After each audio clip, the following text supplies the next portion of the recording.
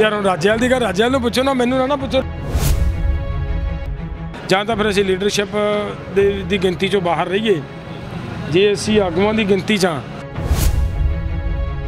ਦੀਪ ਸਿੰਘ ਵਾਲਾ ਪਹਿਲੇ ਤੋਂ ਇਹ ਰਿਹਾ ਹੈ ਉਹਦੀਆਂ ਲੱਤਾਂ ਥੱਲੇ ਨਹੀਂ ਸੀ ਹੁਣ ਲੱਗਦੀਆਂ ਜਾਂ ਭਾਰ ਨਹੀਂ ਸੀ ਚੱਲਦੀਆਂ ਸਾਡੇ ਮੂਹਰੇ ਆਉਣਾ ਨਹੀਂ ਸੀ ਚਾਹੁੰਦਾ। ਜਦ ਕਿ ਅਸੀਂ ਸਾਰੇ ਪੱਤਰਕਾਰਾਂ ਨੇ ਪਲਾਨ ਬਣਾਇਆ ਹੋਇਆ ਸੀ ਵੀ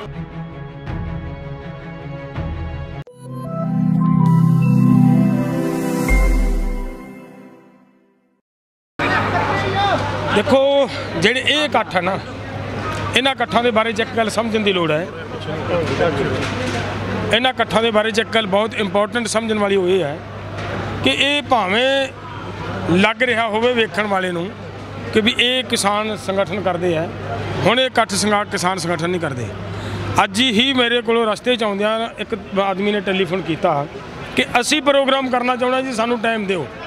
ਹੁਣ ਸਵਾਲ ਇਹ ਆ ਕਿ ਇਹਦਾ ਮਤਲਬ ਇਹ ਆ ਕਿ ਲੋਕ ਆਪਣੇ ਆਪ ਅਵੇਅਰ ਹੋਏ ਆ, ਲੋਕ ਇਹ ਇਕੱਠ ਕਰ ਰਹੇ ਆ ਔਰ ਇਹਨਾਂ ਇਕੱਠਾਂ ਦੇ ਵਿੱਚੋਂ ਸਾਨੂੰ ਜਿਹੜੀ ਚੀਜ਼ ਸਾਨੂੰ ਪੋਜ਼ਿਟਿਵ ਨਜ਼ਰ ਆ ਰਹੀ ਉਹ ਇਹ ਹੈ ਕਿ ਇੱਕ ਤਾਂ ਅਸੀਂ ਲੋਕਾਂ ਨੂੰ ਸੱਦ ਕੇ ਗੱਲ ਸਮਝਾਉਣੀ ਹੁੰਦੀ ਹੈ, ਇੱਕ ਲੋਕਾਂ ਨੇ ਗੱਲ ਸਮਝਣ ਦਾ ਯਤਨ ਕਰਨਾ ਹੈ। ਇਹ ਲੋਕ ਗੱਲ ਸਮਝਣ ਦਾ, ਸੁਣਨ ਦਾ ਯਤਨ ਕਰ ਰਹੇ ਆ। ਲੋਕ ਅੰਦੋਲਨ ਦੀਆਂ ਪ੍ਰਸਥਿਤੀਆਂ ਨੂੰ ਸਮਝਣ ਦਾ ਯਤਨ ਕਰ ਰਹੇ ਆ ਜਿਹੜੀ ਬਹੁਤ ਪੋਜ਼ਿਟਿਵ ਹੈ ਔਰ ਇਸੇ ਗੱਲ ਦੇ ਵਿੱਚੋਂ ਇਹਨਾਂ ਇਕੱਠਾਂ ਦੇ ਵਿੱਚੋਂ ਮੈਨੂੰ ਲੱਗਦਾ ਅੰਦੋਲਨ ਦੀ ਜਿੱਤ ਵੱਲ ਨੂੰ ਜਾਣ ਵਾਲੇ ਬਹੁਤ ਸਾਰੇ ਮਤਲਬ ਅਸਾਰ ਨਜ਼ਰ ਆਉਂਦੇ ਆ ਜਿਹੜਾ ਮੈਨੂੰ ਲੱਗਦਾ ਕਿ ਆਪਣੇ ਲਈ ਪੋਜ਼ਿਟਿਵ ਜਾਣ ਪੰਜਾਬ ਦੀ ਸਰਕਾਰ ਕਹਿ ਰਹੀ ਹੈ ਕਿ ਜਿਹੜੀ ਖਰੀਦ ਹੋਊਗੀ ਉਸੇ ਤਰੀਕੇ ਨਾਲ ਪੁਰਾਣੇ ਤਰੀਕੇ ਨਾਲ ਹੋਊਗੀ ਅਦਾ ਜਿਹੜੀ ਅਦਾਇਗੀ ਹੈਗੀ ਆ ਆੜਤੀ ਦੇ ਥਰੂ ਜਾਊਗੀ। ਪਰ ਕੇਂਦਰ ਮੰਤਰੀ ਕਹਿ ਰਹੇ ਕਿ ਨਹੀਂ ਇਹ ਸਾਰਾ ਪੇਸ਼ ਫਸਿਆ ਕੀ ਕਹਿਣਾ ਚਾਹੁੰਦੇ? ਰੌਲਾ ਸਮਝ ਲੈ ਕੇ ਆ ਰਹੀ ਹੋਏਗੀ ਆਪ ਜੀ ਨੂੰ। ਕਿ ਸਟੇਟ ਗਵਰਨਮੈਂਟ ਕਹਿੰਦੀ ਆ ਵੀ ਆੜਤੀਆਂ ਦੇ ਥਰੂ ਜਾਵੇ, ਸੈਂਟਰ ਕਹਿੰਦਾ ਵੀ ਨਹੀਂ, ਸਿੱਧੀ ਜਾਵੇ।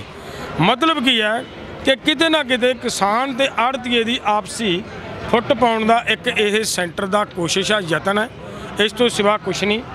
ਅਗਰ ਇਹਨੇ ਕਰਨਾ ਸੀ ਤੇ ਇਹ ਤੋਂ 20 ਸਾਲ ਪਹਿਲਾਂ ਕਿਉਂ ਨਾ ਕੀਤਾ 30 ਸਾਲ ਪਹਿਲਾਂ ਕਿਉਂ ਨਾ ਕੀਤਾ 35 ਸਾਲ ਪਹਿਲਾਂ ਦੀ ਇਹ ਕਿਉਂ ਨਾ ਗੱਲ ਕੀਤੀ ਸਰਕਾਰ ਨੇ? ਅੱਜ ਜਦੋਂ ਅੰਦੋਲਨ ਉੱਠਿਆ ਹੋਇਆ ਹੈ ਸਾਰਾ ਦੇਸ਼ ਇਕਜੁੱਟ ਨਜ਼ਰ ਆ ਰਿਹਾ ਹੈ। ਤਾਂ ਲੋਕਾਂ ਦੀ ਏਕਤਾ ਨੂੰ ਖਰਾਬ ਕਰਨਾ ਲੋਕਾਂ ਦੀ ਏਕਤਾ ਨੂੰ ਖੰਡਾਉਣ ਦੀ ਇੱਕ ਕੇਂਦਰ ਸਰਕਾਰ ਨਾਲ ਇਹ ਕਹਿਣਾ ਮੈਂ ਤਾਂ ਸਪਸ਼ਟ ਕਿ ਬੀਜੇਪੀ ਦੀ ਇੱਕ ਸਾਜ਼ਿਸ਼ ਹੈ ਜਿਹਨੂੰ ਮੈਨੂੰ ਲੱਗਦਾ ਲੋਕ ਸਫਲ ਨਹੀਂ ਹੋਣ ਦੇਣਗੇ। ਲੋਕ ਮਤਲਬ ਤੁਸੀਂ ਦੇਖ ਲੋਗੇ ਆਪਦੇ ਆੜਤੀਆਂ ਨਾਲ ਮਿੱਤਰਤਾ ਨਹੀਂ ਗਵਾਉਣਗੇ ਉਹ ਆੜਤੀਆਂ ਨਾਲ ਰਲ ਕੇ ਚੱਲਣਗੇ। ਜੀ ਜਿਹੜਾ ਇੱਕ 26 ਵਾਲਾ ਪਲਾਨ ਸੀਗਾ ਉਹਦੇ ਵਿੱਚ ਜਿਹੜੀਆਂ ਕਮੀਆਂ ਸੀ ਕੀ ਉਹ ਹੁਣ ਵਰਕਆਊਟ ਹੋਊਗਾ ਜਿਹੜਾ ਸੰਸਦ ਨੂੰ ਤੁਸੀਂ ਮਾਰਚ ਦਾ ਕਰਿਆਗਾ ਬਲੂਪ੍ਰਿੰਟ ਤਿਆਰ ਹੋਇਆ? ਦੇਖੋ ਮੈਂ ਦੱਸਦਾ ਉਹਦੇ ਵਿੱਚ ਹਜੇ ਟਾਈਮ ਹੈ। ਜੀ। 26 ਤੋਂ ਬਾਅਦ ਅਸੀਂ ਬਹੁਤ ਕੁਝ ਸਿੱਖਿਆ। ਅਸੀਂ ਵੀ ਸਿੱਖਿਆ। ਸਾਡੇ ਯੂਥ ਨੇ ਬਹੁਤ ਕੁਝ ਸਿੱਖਿਆ। ਅ, 90% ਯੂਥ ਇਸ ਗੱਲ ਨੂੰ ਸਮਝ ਗਿਆ ਕਿ ਉਸ ਦਿਨ ਜਿਹੜੀ ਗਲਤੀ ਹੋਈ ਹੈ ਉਹ ਗਲਤੀ ਅਗਰ ਨਾ ਹੁੰਦੀ ਤਾਂ ਅੱਜ ਨੂੰ ਅੰਦੋਲਨ ਜਿੱਤਿਆ ਹੁੰਦਾ।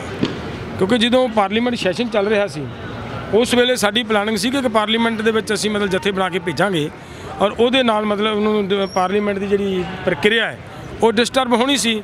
ਰੌਲਾ ਅੰਦਰ ਪੈਣਾ ਹੀ ਸੀ, ਸੁਭਾਵਿਕ ਸੀ ਇਹ ਗੱਲ। ਔਰ ਉਹਨਾਂ ਦਿਨਾਂ ਦੇ ਵਿੱਚ ਕਿਸਾਨ ਪੱਕੀ ਫੈਸਲਾ ਲੈਣ ਲਈ ਸਰਕਾਰ ਨੂੰ ਮਜਬੂਰ ਹੋਣਾ ਪੈਣਾ ਸੀ। ਪਰ ਉਹ ਚਲੋ ਲੰਘ ਗਿਆ ਸਮਾਂ ਜਿਹੜਾ ਲੰਘ ਗਿਆ, ਉਹਨੂੰ ਤਾਂ ਕੋਈ ਮਤਲਬ ਮੋੜਿਆ ਨਹੀਂ ਜਾ ਸਕਦਾ। ਲੇਕਿਨ ਉਹ ਗੱਲਾਂ ਸਾਰਾ ਸਾਡਾ ਯੂਥ, ਸਾਰੇ ਸਾਡੇ ਨੌਜਵਾਨ, ਸਾਡੇ ਆਮ ਲੀਡਰਸ਼ਿਪ, ਉਹਨਾਂ ਗੱਲਾਂ ਨੂੰ ਹੁਣ ਸਮਝ ਚੁੱਕੀ ਹੈ, ਜਾਣ ਚੁੱਕੀ ਹੈ। ਅੱਗੇ ਤੋਂ ਇਹਨਾਂ ਨੂੰ ਅਸੀਂ ਪੂਰਾ, ਅਸੀਂ ਵੀ ਸਮਝ ਕੇ, ਸੋਚ ਕੇ ਚੱਲਾਂਗੇ ਕਿਵੇਂ ਚੱਲਣਾ ਔਰ ਯੂਥ ਵੀ ਸਾਡਾ ਸਿਆਣਾ ਹੋ ਕੇ ਚੱਲੇਗਾ। ਉਹਨੂੰ ਅਸੀਂ ਸਫਲ ਬਣਾਵਾਂਗੇ। ਜਿਹੜਾ ਅ, ਸੰਸਦ ਕੂਚ ਕਰ ਰਹੇ ਹੋ ਤੁਸੀਂ ਉਹਦੀ ਰੂਪਰੇਖਾ ਕੋ ਬਣੀ ਹੋਈ ਹੈ ਜਾਂ ਨਹੀਂ ਹਜੇ ਤੱਕ ਰੂਪਰੇਖਾ ਨਹੀਂ ਬਣੀ ਉਹਦੀ ਉਹਦਾ ਸਿਰਫ ਇੱਕ ਐਲਾਨ ਕੀਤਾ ਹੈ।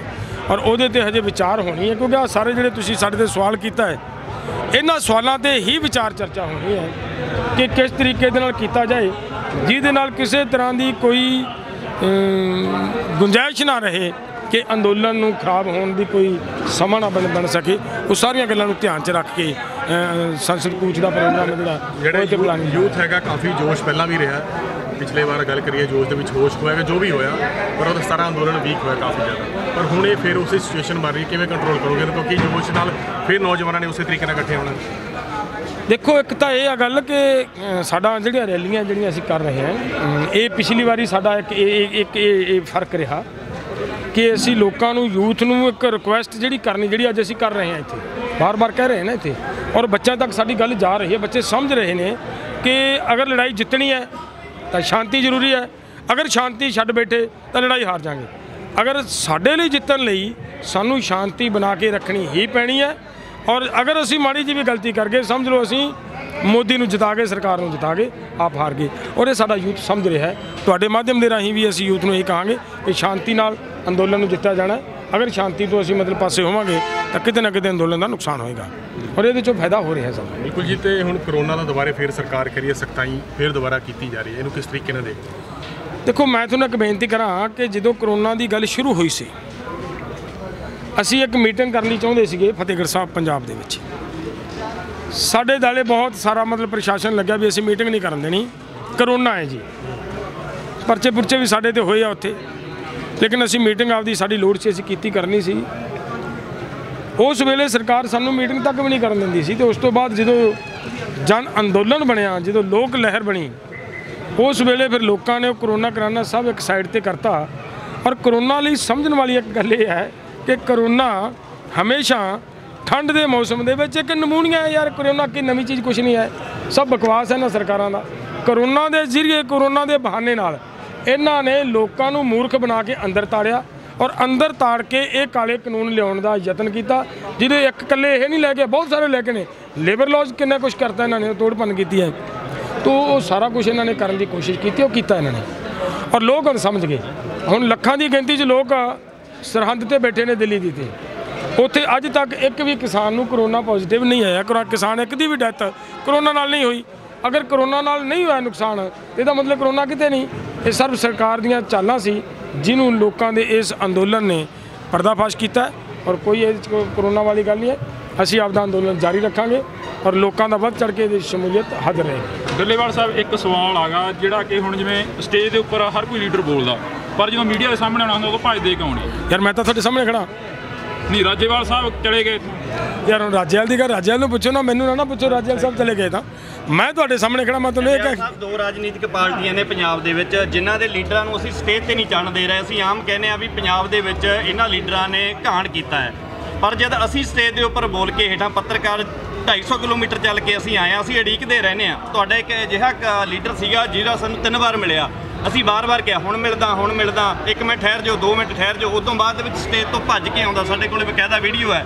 ਇੱਕਦਮ ਗੱਡੀ ਦੇ ਵਿੱਚ ਬਹਿ ਗਿਆ ਜਦ ਅਸੀਂ, ਉਹਦੀਆਂ ਮਿਹਨਤਾਂ ਕਰ ਰਹੇ ਸੀ ਕਿ ਅਸੀਂ ਮਿਹਨਤਾਂ ਹੀ ਕਵਾਂਗੇ ਕਿਉਂਕਿ ਅਸੀਂ ਕਿਸਾਨੀ ਅੰਦੋਲਨ ਨੂੰ ਅੱਗੇ ਲੈ ਕੇ ਜਾਣਾ ਚਾਹੁੰਦੇ ਹਾਂ। ਕੀ ਇਹ ਘਾਟਾ ਨਹੀਂ ਹੈਗੀਆਂ? ਦੇਖੋ, ਮੈਂ ਬੇਨਤੀ ਕਰਾਂ, ਮੈਂ ਤੁਹਾਡਾ ਸਮੁੱਚੀ ਪੰਜਾਬ ਦੀ ਪੱਤਰਕਾਰ ਭਾਈਚਾਰੇ ਦਾ ਦਿਲੋਂ ਰਿਣੀ ਹੈ। ਤੁਹਾਡਾ ਮੈਂ, ਮੈਨੂੰ, ਮੈਂ ਕਹਾਂ ਆਪਦੇ ਵੱਲੋਂ ਤਾਂ ਮੈਂ ਤੁਹਾਡਾ ਦੇਣ ਨਹੀਂ ਦੇ ਸਕਦਾ। ਇਸ ਅੰਦੋਲਨ ਦੇ ਵਿੱਚ ਜਿੱਡਾ ਪੱਤਰਕਾਰੀ ਦਾ ਰੋਲ ਆ ਪੱਤਰਕਾਰੀ ਨੇ ਅਹਿਮ ਰੋਲ ਅਦਾ ਕੀਤਾ ਹੈ। ਤੁਸੀਂ ਇੱਕ ਨੋਟ ਕੀਤਾ ਹੋਵੇਗਾ ਕਿ ਮੇਰੇ ਨਾਲ ਜਿਹੜੇ ਸਾਡੇ ਨੌਜਵਾਨ ਨੇ ਫੋਟੋ ਫਾਟੋਆਂ ਕਰਵਾਉਣ ਦੀ ਜੋ ਭਾਵਨਾ ਹੁੰਦੀ ਹੈ ਬੰਦਿਆਂ ਦੀ ਖਿੱਚ ਤੂ ਕਿੰਨੀ ਸੀ, ਮੈਂ ਉਹਨਾਂ ਨੂੰ ਬਾਕਾਇਦਾ ਇਹ ਕਿਹਾ ਵੀ ਯਾਰ ਇੱਕ ਵਾਰੀ ਸਾਈਡ ਤੇ ਹੋਵੋ, ਮੈਨੂੰ ਪੱਤਰਕਾਰਾਂ ਦੇ ਨਾਲ ਗੱਲਬਾਤ ਕਰ ਲੈਣ ਦਿਓ। ਉਹਨਾਂ ਨੂੰ ਫ੍ਰੀ ਕਰਕੇ ਤੋਰ ਗਏ ਫਿਰ ਆਪਾਂ ਗੱਲ ਕਰਾਂਗੇ ਹੈਨਾ ਤਾਂ ਮੇਰੇ ਨਾਲ ਇੱਕੋ ਰੱਸੇ ਦਾ ਨਾ ਨੱਪ ਗਏ ਆਪਾਂ ਸਾਰਿਆਂ ਨੂੰ। ਜੇ ਕੋਈ ਤੁਹਾਡੀ ਗੱਲ ਨਹੀਂ ਸਿੱਧੀ ਗੱਲ ਮੈਂ ਕਰਦਾ ਜੀ ਦੀਪ ਸਿੰਘ ਵਾਲਾ ਦੀ। ਰਜਿੰਦਰ ਸਿੰਘ ਦੀਪ ਸਿੰਘ ਵਾਲਾ ਪਹਿਲੇ ਤੂੰ ਇਹ ਰਿਹਾ ਹੈ ਉਹਦੀਆਂ ਲੱਤਾਂ ਥੱਲੇ ਨਹੀਂ ਸੀ ਹੁਣ ਲੱਗਦੀਆਂ ਜਾਂ ਭਾਰ ਨਹੀਂ ਸੀ ਚੱਲਦੀਆਂ ਸਾਡੇ ਮੂਹਰੇ ਆਉਣਾ ਨਹੀਂ ਸੀ ਚਾਹੁੰਦਾ। ਜਦ ਕਿ ਅਸੀਂ ਸਾਰੇ ਪੱਤਰਕਾਰਾਂ ਨੇ ਪਲਾਨ ਬਣਾਇਆ ਹੋਇਆ ਸੀ ਵੀ ਕੋਈ 네ਗੇਟਿਵ ਸਵਾਲ ਨਹੀਂ ਪੁੱਛੇਗਾ ਕਿਸੇ ਦੇ ਸੰਬੰਧ 'ਚ। ਅੱਜ ਦੀਪ ਸਿੰਘ ਵਾਲਾ ਨੂੰ ਪਿਆਰ ਦੇ ਨਾਲ ਸਵਾਲ ਪੁੱਛੇ ਜਾਣਗੇ ਅਸੀਂ ਚਾਹੁੰਦੇ ਸੀ। ਪਰ ਉਹ ਫਿਰ ਵੀ ਸਾਨੂੰ ਇਸ ਨਿਗਾਹ ਦੇ ਨਾਲ ਦੇਖਦਾ ਸੀ ਕਿਉਂ? ਕਿਉਂਕਿ ਉਹਨੇ ਸਾਡੇ ਵੀਰ ਨੂੰ ਇਹ ਗੱਲ ਕਹੀ ਵੀ ਹੈ ਵੀ ਇੱਕ ਲੱਖੇ ਦੀ ਜਿਹੜੀ ਇੰਟਰਵਿਊ ਵਾਇਰਲ ਹੋ ਰਹੀ ਹੈ ਵੀ ਲੱਖੇ ਦੀ ਇੰਟਰਵਿਊ ਲਈ ਹੈ ਤੂੰ ਉਹਦੀ ਸਪੀਚ ਹੀ ਸੁਣੀ ਹੈ ਪਰ ਸਵਾਲ ਨਹੀਂ ਕੀਤੇ। ਸਪੀਚ ਜਿਹੜੀ ਸੁਣ ਲੈਂਦੇ ਹੋ ਤੁਸੀਂ ਪੱਤਰਕਾਰ ਪਰ ਸਵਾਲ ਨਹੀਂ ਕਰਦੇ ਸਵਾਲ ਤੁਸੀਂ ਸਾਨੂੰ ਕਰਦੇ ਹੋ। ਚਲੋ ਮੈਂ ਬੇਨਤੀ ਕਰਾਂ ਜਿਹੜੀ ਮੇਰੀ ਸਮਝ ਹੈ ਮੈਂ ਕਿਸੇ ਵੀ ਲੀਡਰ ਦੇ ਉੱਤੇ ਟਿੱਪਣੀ ਕਰਨੀ ਕਿਉਂਕਿ ਸਾਡਾ ਜਿਹੜਾ ਮੋਰਚਾ ਹੈ ਬਹੁਤ ਅਹਿਮ ਮੋੜ ਤੇ ਹੈ। ਬਹੁਤ ਉੱਚੀਆਂ ਬੁਲੰਦੀਆਂ ਤੇ ਚਲਿਆ ਗਿਆ।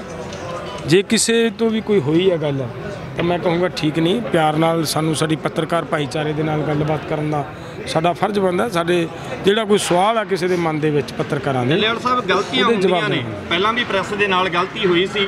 ਮਾਫੀ ਵੀ ਬਕਾਇਦਾ ਪ੍ਰੈਸ ਦੇ ਨਾਲ ਜਿਹੜੀ ਹੈ ਪ੍ਰੈਸ ਕਾਨਫਰੰਸ ਕੀਤੀ ਗਈ ਸਾਡੇ ਨਾਲ ਬਕਾਇਦਾ ਮਾਫੀ ਵੀ ਮੰਗੀ ਗਈ ਹੈ ਵੀ ਜਿਹੜੀਆਂ ਸਾਡੇ ਤੋਂ ਗਲਤੀਆਂ ਹੋਈਆਂ ਨੇ ਸੁਧਾਰਾਂਗੇ। ਪਰ ਸੁਧਾਰੀਆਂ ਕਿਉਂ ਨਹੀਂ ਜਾ ਰਹੀਆਂ?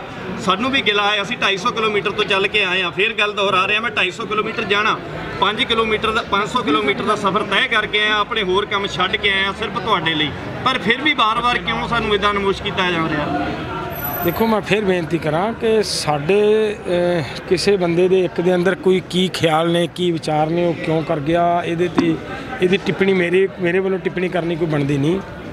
ਲੇਕਿਨ ਮੈਂ ਦਿਲੋਂ ਸਮੁੱਚੇ ਪੱਤਰਕਾਰ ਭਾਈਚਾਰੇ ਦਾ, ਸਾਰਿਆਂ ਦਾ ਤਹਿ ਦਿਲੋਂ ਧੰਨਵਾਦ ਕਰਦਾ ਕਿ ਅੰਦੋਲਨ ਅਸੀਂ ਤੇ ਸ਼ੁਰੂ ਕਰਨ ਵਾਲੇ ਹਾਂ। ਅੰਦੋਲਨ ਨੂੰ ਜਨ ਜਨ ਤੱਕ ਹਰ ਪਰਿਵਾਰ ਤੱਕ ਹਰ ਵਿਅਕਤੀ ਤੱਕ ਪਹੁੰਚਾਇਆ ਤੁਸੀਂ। ਬੜਾ ਰੋਲ ਹੈ ਬਹੁਤ ਅਹਿਮ ਰੋਲ ਹੈ ਪੱਤਰਕਾਰੀ ਦਾ।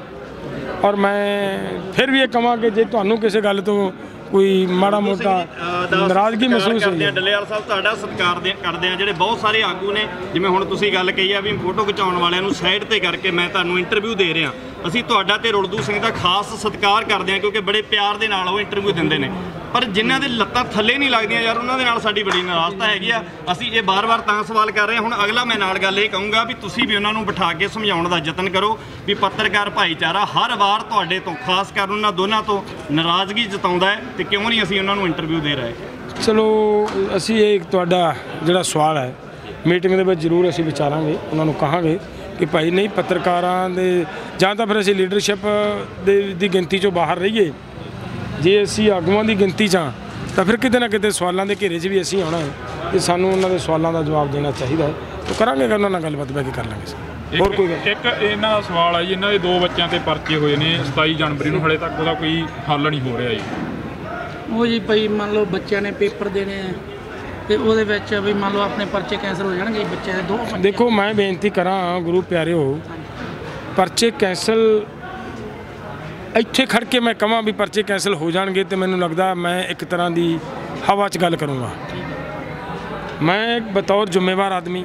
ਹਾਂਜੀ। ਏਡੀ ਵੱਡੀ ਗੱਲ ਕਹਿਣੀ ਪੋਸੀਬਲ ਨਹੀਂ ਹੁੰਦੀ। ਲੇਕਿਨ ਇਹ ਜ਼ਰੂਰ ਹੈ ਕਿ ਜਿਸ ਦਿਨ ਮੋਰਚਾ ਫਤਿਹ ਹੋਊਗਾ ਉਸ ਦਿਨ ਇਹ ਸਾਰੇ ਬੱਚਿਆਂ ਦੇ ਪਰਚਿਆਂ ਦੀ ਗੱਲ ਪਹਿਲਾਂ ਹੋਏਗੀ। ਸਾਡੀ ਪਹਿਲਾਂ ਵੀ ਗੱਲ ਇਹੀ ਸੀ ਕਿ ਪਹਿਲਾਂ ਮੁੰਡੇ ਬਾਹਰ ਕੱਢੋ ਫਿਰ ਅਸੀਂ ਅਗਲੀ ਗੱਲ ਤੋਰਾਂਗੇ। ਔਰ ਫਿਰ ਵੀ ਤੁਹਾ ਸਾਡੀ ਕੋਸ਼ਿਸ਼ ਹੋਏਗੀ ਸਾਡੇ ਦੇ ਪਰਚੇ ਰਹਿੰਦੇ ਆ ਰਹਿ ਜਾਣ। ਲੇਕਿਨ ਜਿਹੜੇ ਆਮ ਲੋਕਾਂ ਦੇ, ਆਮ ਬੱਚਿਆਂ ਦੇ ਪਰਚੇ ਹੈ, ਉਹਨਾਂ ਦੇ ਪਰਚੇ ਰੱਦ ਕਰਾਉਣ ਲਈ ਅਸੀਂ ਗੱਲ ਕਰਾਂਗੇ।